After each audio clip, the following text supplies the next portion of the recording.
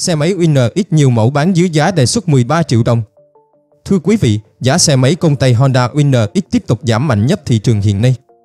Theo khảo sát tại một số đại lý Honda tại Hà Nội, Winner X đang có ưu đãi đến 17 triệu đồng gồm quà tặng, tiền mặt trừ thẳng vào giá bán và hỗ trợ lệ phí đăng ký.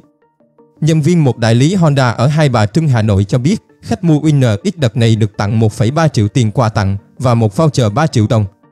Đặc biệt tất cả các phiên bản đang được bán dưới giá đề xuất hơn 13 triệu đồng, xuống dưới 40 triệu đồng. Cụ thể, Honda Winner X đang có giá dao động từ 33 đến 37,5 triệu đồng tại đại lý, thấp hơn nhiều so với giá hãng đang niêm yết là 46,16 đến 50,56 triệu đồng. Ra mắt thị trường từ cuối năm 2021, Honda Winner X được kỳ vọng sẽ giành lại được thị phần từ đối thủ Yamaha Exciter. Tuy nhiên, việc đại lý liên tục phải hạ giá bán xuống dưới mức đề xuất trong suốt thời gian qua cho thấy kết quả kinh doanh mẫu xe này vẫn chưa thực sự khả quan.